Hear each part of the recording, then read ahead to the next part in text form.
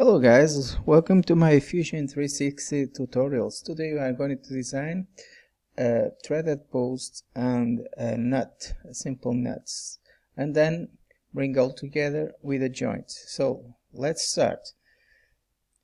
First we need to design a base for the post and uh, we start uh, with a center rectangle here can be any measurements no worries. Just click extrude and extrude it a little bit. Select the profile extrude it click ok. Now we are going to design here in this surface a circle.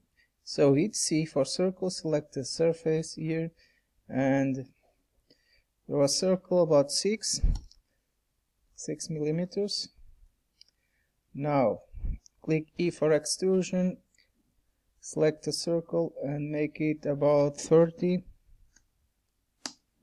and we have a post for our threads. So uh, we are going to create a thread and select the post and select model here very important.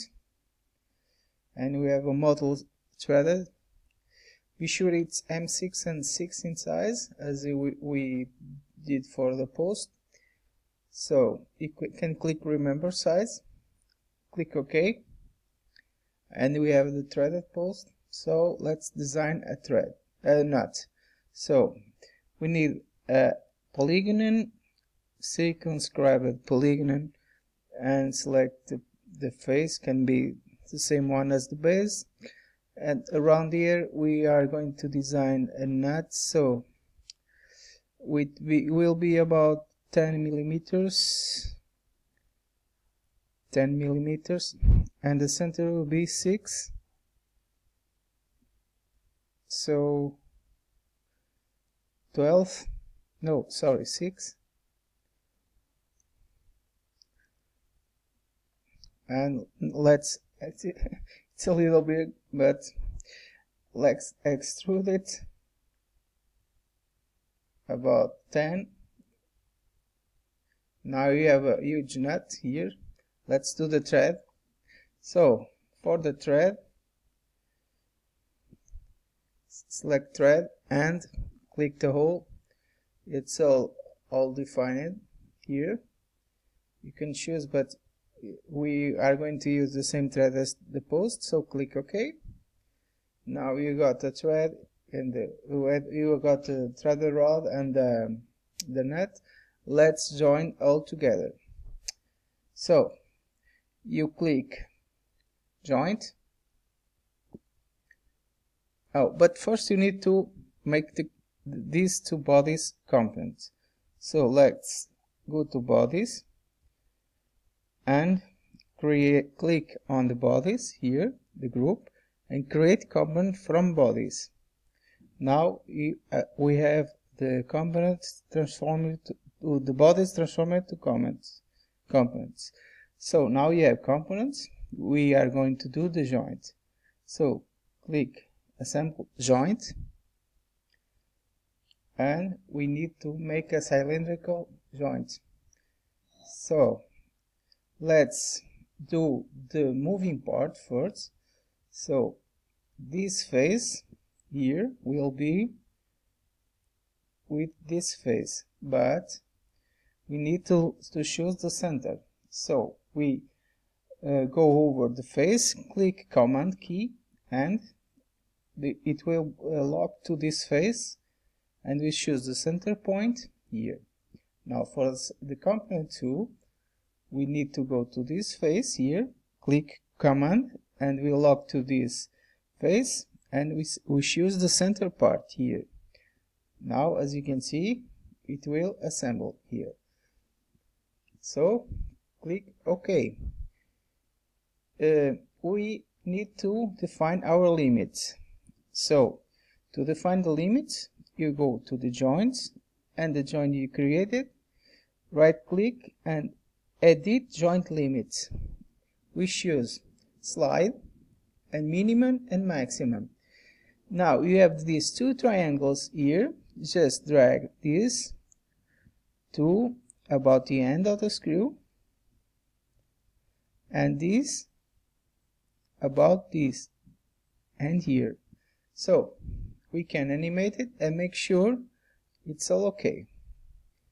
As you can see the screw is not rotated but we are going to fix this. Just click OK. And go to assemble and click motion link. Now you have the motion we need to make a motion link to this joint. So we first select the joint the cylindrical joint. Then choose rotation rotate Z. So we need to link with same joint here and we can set the distance is 1 millimeter threaded uh, distance so it's already defined. And the angle so each rotation is 360 degrees we have 1 millimeter movement. As you can see it's already working. The animation with the limits we define.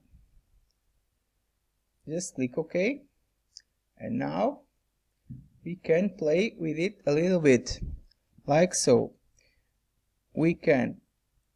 Oh first we we have to ground this piece so it doesn't move. As you can see as I drag this this part isn't fixed.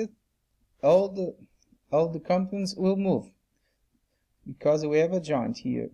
So we need to revert and make this part a grounded position. So we go to component here and select ground. Now it's fixed.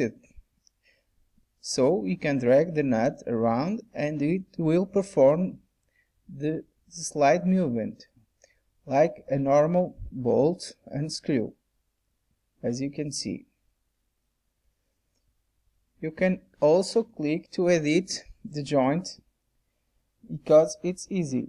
So you select this and right click here then highlight the components again. And now you can do the same movement and define where you want the the nut to be captured. So if you don't want to capture just click escape or revert so this will be the default position but if you want on this position here you can do the the revolving and capture the position how the default position is this one okay so I hope you liked it. This is a simple tutorial, but it's essential if you want to do some uh, screw joints. Okay.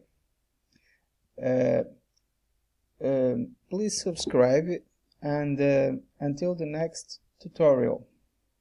Bye bye. Hi guys, as I forgot something. If you want to render it, just go to render and let's apply some material. So click A for appearance and select the stainless steel here and here. Now you have something. But you can choose many colors. Let's try aluminum. So let's put this blue and this red and we have a nice fancy look. Now you can render it and play with it a little bit like so let's render it and we have a beautiful piece hope you enjoyed. Until next time